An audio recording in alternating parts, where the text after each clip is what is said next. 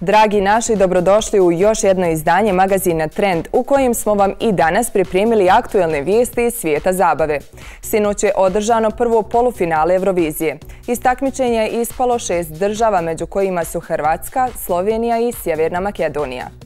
U prvom polufinalu 65. izdanja Eurovizije nastupili su izvođači iz 16 zemalja, a samo njih 10 s najviše glasova publike i stručnog žirija je prošlo u finale i borit će se za najbolju pjesmu Europe. Večer je otvorio aktuelni pobjednik Duncan Lawrence, čija je pobjeda po peti put dovela Euroviziju u Nizozemsku. Prvi su nastupili predstavnici Litvanije, grupa Drup s pjesmom Diskotek, čiji su taktovi rasplesali publiku i odmah na početku zagrijali atmosferu, a riječ je o pjesmi koja ujedno važi i za favorita na ovogodišnjem takmičenju. Finalisti prve polufinalne večeri su Norveška, Izrael, Rusija, Azerbejdžan, Malta, Litvanija, Kipar, Švedska, Ukrajina i Belgija.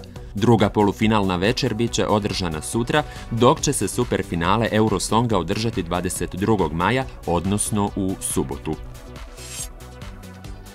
Jučer je završena dodjela MTV-evih filmskih i televizijskih nagrada za 2021. godinu, na koju je dominirala Disneyjeva serija WandaVision.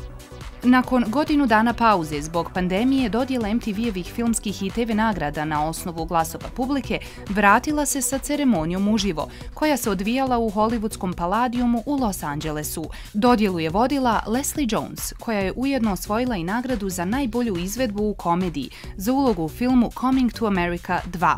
Apsolutni pobjednik večeri bila je Disneyeva serija WandaVision, koja je osvojila četiri nagrade, među kojima su one za najbolju seriju, glavna glumica Elizabeth Olsen osvojila je nagradu za najbolji performans u seriji, Catherine Ken proglašena je najboljim negativcem, a za najbolji sukob proglašen je odnos Vande i Agate. Film godine je tu All the Boys, Always and Forever, a nagrada za najbolje glumca pripala je pokojnom Chadwicku Bosemanu. Miniserija The Falcon and the Winter Soldier osvojila je dvije nagrade. Organizatori Eurovizije su najavili da će i Sjedinjene američke države uskoro dobiti svoju verziju ovog popularnog takmičenja. Organizatori Eurovizije otkrili su da planiraju organizovati američku verziju takmičenja na ljeto naredne godine. NBC je odkupio prava na prenos American Song Contesta, koji će producirati tim Eurosonga. Američka verzija takmičenja odvijaće se u tri kruga. Prije svega kvalifikacije između 50 saveznih država, nakon čega slijedi polufinale, a potom i finale u kojem će biti proglašen pobjednik originalne pjesme. Pop zvijezda Ariana Grande udala se u tajnosti tokom vikenda za svog vjerenika Daltona Gomeza, nakon nešto manje od godinu dana veze.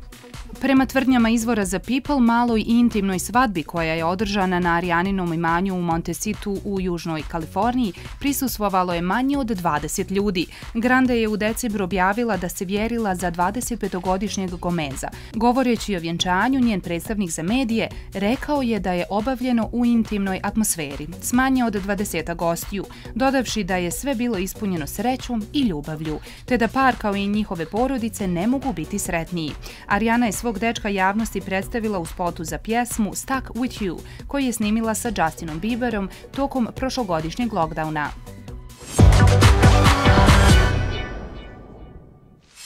Svjetski poznata supermodelsica Naomi Campbell postala je majka u skoro 51. godini života, a na svijet je donijela djevojčicu. Naomi je na svom Twitter profilu objavila fotografiju malenih nogu svoje kćerkice i time iznenadila sve pratitelje s obzirom na to da nikada ranije nije saopštila ili na bilo koji način pokazala da je trudna. Prekrasan mali blagoslov izabrao me da budem mama. Počašćena sam što ću imati ovako nježnu dušu u svom životu. Nema riječi koje bi opisale životnu vezu koju sada dijelim sa tobom, moj anđele.